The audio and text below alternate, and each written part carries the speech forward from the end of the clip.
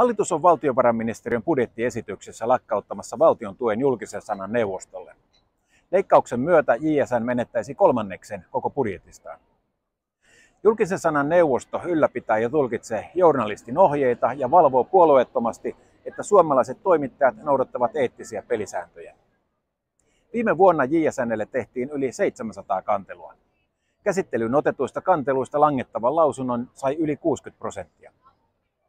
Tällainen kriittinen itsesääntely on omiaan vahvistamaan luottamusta mediaan, mikä Suomessa onkin maailmanennätystasoa. Se on myös tärkeä tekijä elinvoimaisessa demokratiassa. Valtio onkin tukenut neuvoston toimintaa lähes 60 vuotta, 26 hallituksen ajan, Orpon hallitukseen saakka. Nyt suunniteltu leikkaus heikentäisi JSN mahdollisuuksia toimia ja pidentäisi käsittelyaikoja. Se olisi huono uutinen sekä kanteluiden tekijöille että medialle.